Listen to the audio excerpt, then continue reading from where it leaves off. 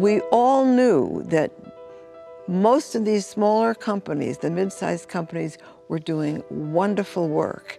They needed a place where they'd look better and sound better than where they were. We did not have the money, the time, or even the interest to create a very fancy building from the outside. Well, what we needed was perfect acoustics and unencumbered sight lines. This whole project turned out to be just a test of determination and perseverance. And it was a good thing we had a vision that we all believed in because I guess that's what got me out of bed every morning. People in the city recognized the importance of the idea. However we bumped along, we, nobody was willing to let go of this. It kept changing. It was John Bryan and Jim Feldstein in Millennium Park that allowed this to be once again transformed, and this time it worked. When I came on this board, it was about 2000, and standing on Randolph Street over construction wood barriers and looking down at a, at a dirt hole and trying to dream and believe that we were going to have a theater there. And finally, it just came together.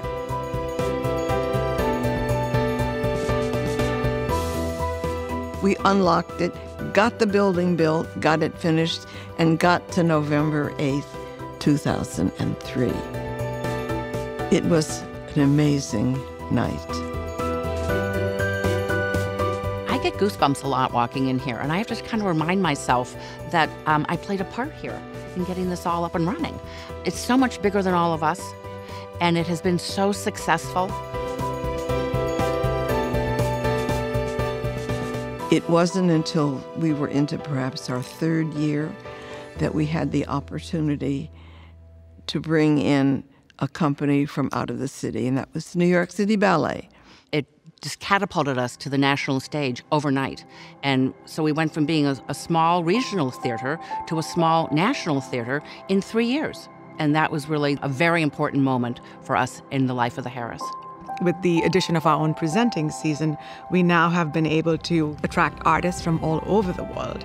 Therefore, then attract audiences. It creates a halo effect for all of the other artists that perform here. Joan used to talk about it years and years ago that, that her vision was that people would say, let's go to the Harris Theater tonight. I don't know what's there, but it's always good or interesting. I think that what we're building is a level of trust in our curatorship. It's really a home for Chicago-based companies. It's a place where we can nurture them and then to be a home away from home for really interesting companies from the rest of the world. The variety that we present and the quality we present, it's now become an outstanding venue highly recognized for presenting artistic excellence in music and dance. The theater's getting much more sophisticated about using the presented entities and really embedding a residency in the community itself. So there are master classes, lectures are given. So this kind of thing informs the ticket buyer about the product, but it also pulls the community into a presenter, and that's really important. It's about wanting to be relevant. It's about wanting to touch the hearts of as many people from as many different cultures and backgrounds and as many minds, touch the minds of so many people that represent the fabric of the world.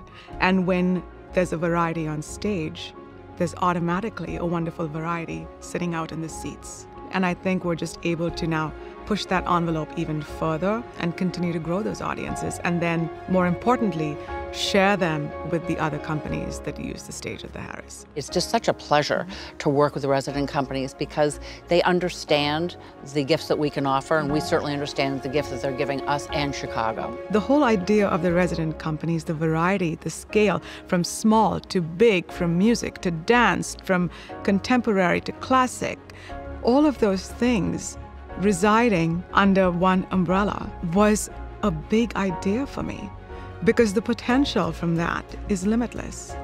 Our programming is challenging, our programming is out of the ordinary. What happens to people when they sit here is what really counts. I've learned a lot from this theater. I'm very proud that I have this opportunity. I feel blessed as well that I can see art at so many levels in so many different ways in the city. But my great joy, obviously, is what we're doing here. We've gotten to where we've gotten because we worked hard, but a lot of it was dumb luck and the way it worked out. And good people, a great board, and a wonderful staff who take tremendous pride in this place. This has exceeded our expectations so much that it's just hard to imagine.